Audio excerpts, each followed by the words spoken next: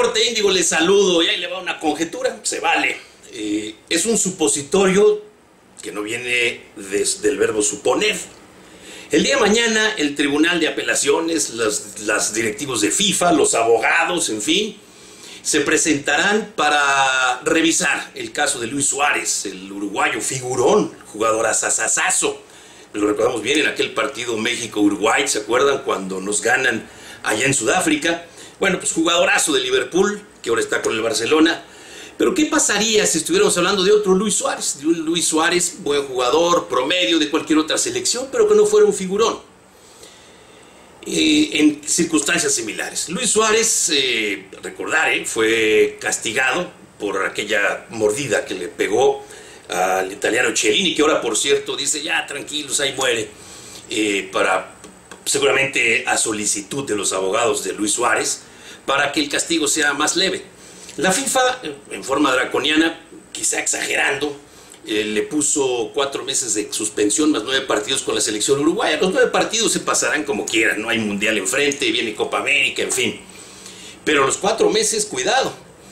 Y Luis Suárez, reincidente, es la tercera que se le conoce, el tercer ataque a mordidas con alguien más los que no conocemos. Y la FIFA quiso sentar un precedente precisamente por los antecedentes. Unas semanas después, Luis Suárez, y aquí dimos cuenta de ello, Luis Suárez eh, en su, cuenta de Twitter y en una carta dirigida a los aficionados de Liverpool, eh, se disculpa, aceptando, aceptando eso, aceptando su culpa y su responsabilidad y prometiendo no volver a atacar a nadie a mordidas. En el Twitter también lo dice. Carta muy cuidada, por cierto, redactada seguramente por sus abogados. Y bueno, pues algunos lloraron, otros fueron lágrimas de cocodrilo. Hay que recordar que cuando él es expulsado y después viene el otro partido de Uruguay eh, contra Colombia, pues muchos achacan a que no estuvo Luis Suárez y que por eso los eliminaron, probablemente. Pero Luis Suárez se queda callado, se defiende, su grupo sale a defenderlo, el profesor Washington Tavares, extraordinaria persona, no solo lo defiende, sino que dice que renuncia a la FIFA, el presidente Mújica de Uruguay, muy dado al tema de los populismos, se pone la bandera y se tira y habla muy mal de la gente de FIFA y después Luis Suárez reconoce todo este engaño. Aún así vendrá una revisión, pero resulta que después de esa carta, a los dos días el Barcelona muestra interés por Luis Suárez, el Liverpool lo acepta, una operación que ronda los 90 millones de euros entre el traspaso, la ficha, los primeros sueldos, chicles, chocolates, muéganos. No son casualidades.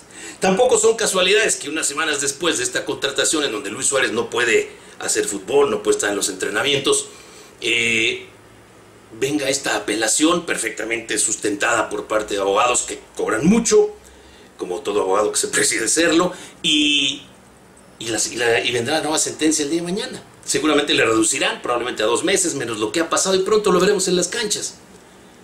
Quizá una multa, quizá obligarlo a ir a ver un psiquiatra o alguien que le ayude por esta reincidencia.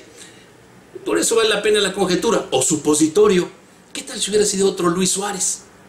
Yo me atrevo a pensar, total es una conjetura, que le aplicarían incluso un castigo más fuerte, más severo, para sentar un precedente. Así están las cosas. Hasta el día de mañana.